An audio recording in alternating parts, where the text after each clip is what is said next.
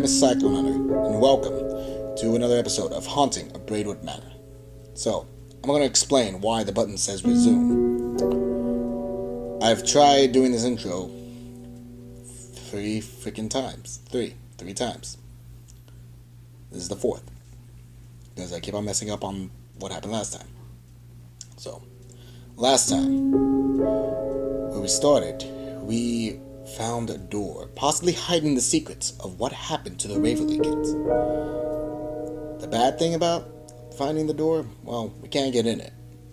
We need four keys. Where are the four keys? With each of the Waverly kids Simon, Thomas, Eleanor, and the other girl that I don't remember. I'm very sorry about that. We already have Simon's and the other girl. We need Thomas's and Eleanor's to unlock the door and possibly find out what happened at Braidwood Manor. But in our little trial, trial. What's it, what do you call it? Uh, attempts to get each of the keys.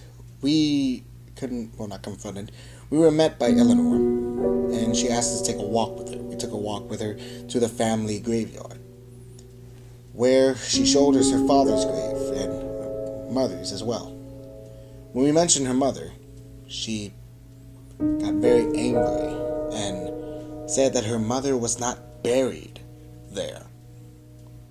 The question is why is her mother not buried in the family graveyard?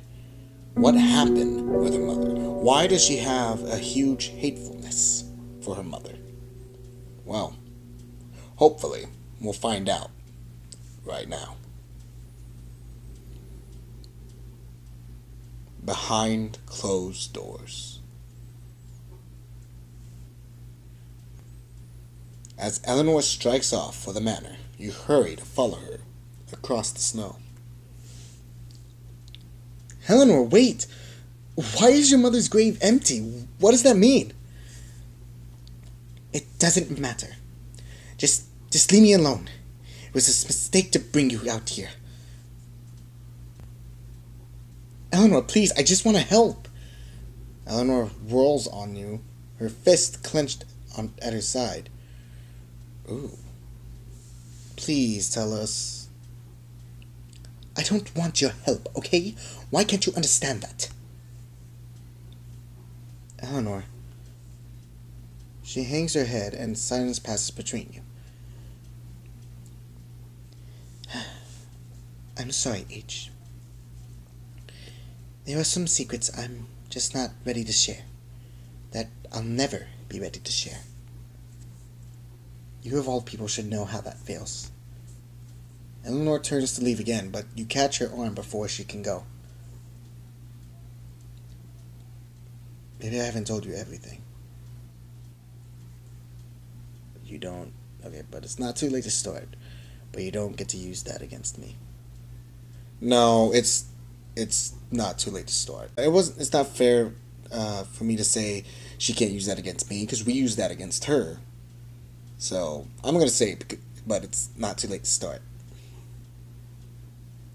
We each have our own pain, Eleanor. It might help to share it. You think you know pain, H, but you don't. Not like this. Eleanor slips loose from your grasp and strides off to the steps of Braidwood Manor, without a second glance, leaving you alone in the cold. I don't know what secret Eleanor is keeping hidden behind that locked door, but it's tearing her apart. I need to collect those keys, for her sake as much as my own.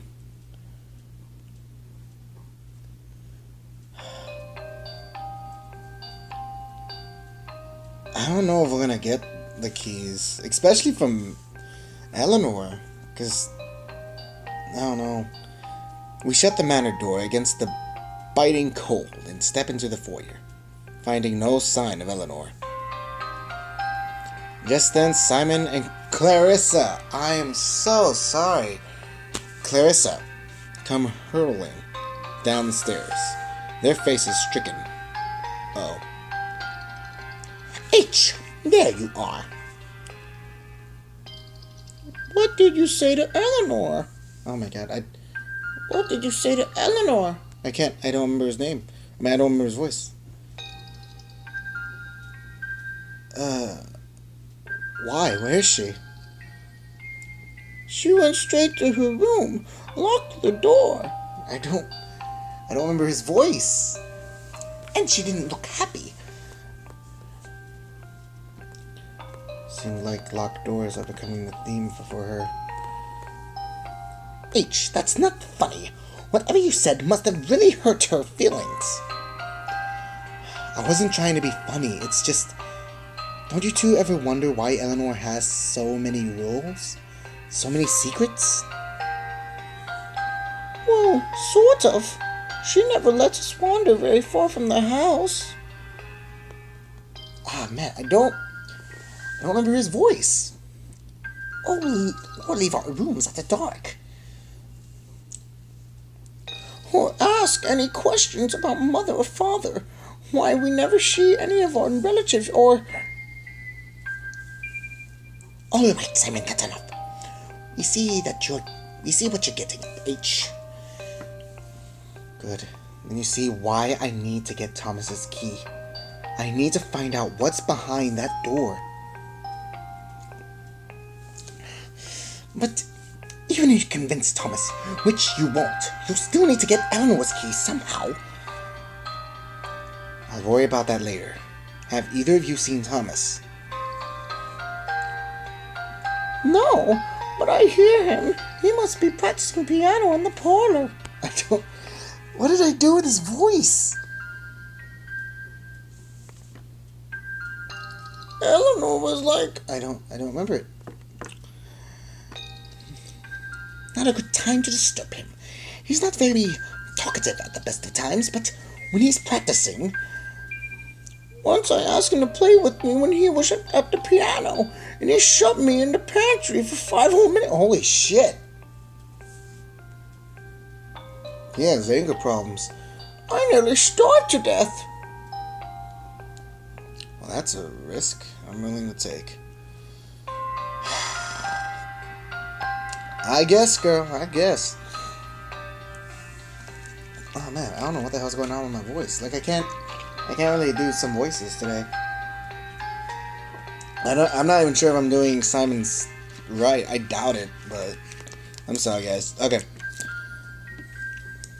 Uh, leaving Clarissa and Simon in the foyer, we enter the parlor to find Thomas playing a lovely melody on the piano.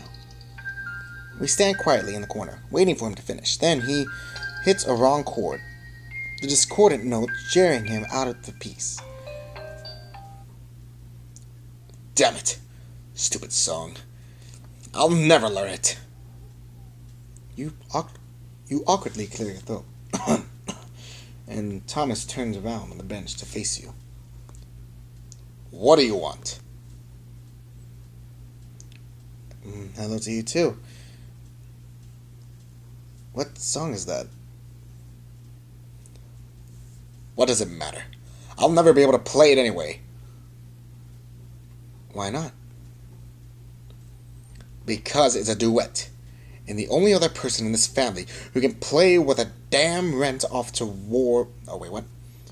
The only other person in the family who can play worth a damn went out to war years ago. Oh, his dad. You mean your father? Thomas turns back towards the piano, his shoulders slumped. Yes, I mean my father. We were learning this piece when he left. And he hasn't come back. We sit beside Thomas on the bench, and he flinches away from you. What are you doing? I'm going to play the other part, Thomas. I know I'm not your father, and I probably can't play as well. But at least you'll be ready for him when he comes home. Thomas glares suspiciously at you.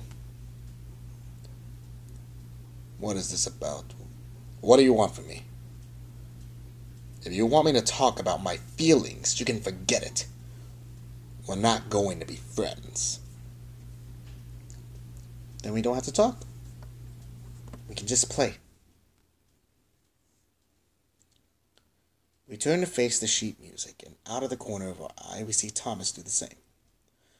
And with that, before we play this beautiful piece, is where we're going to end this video.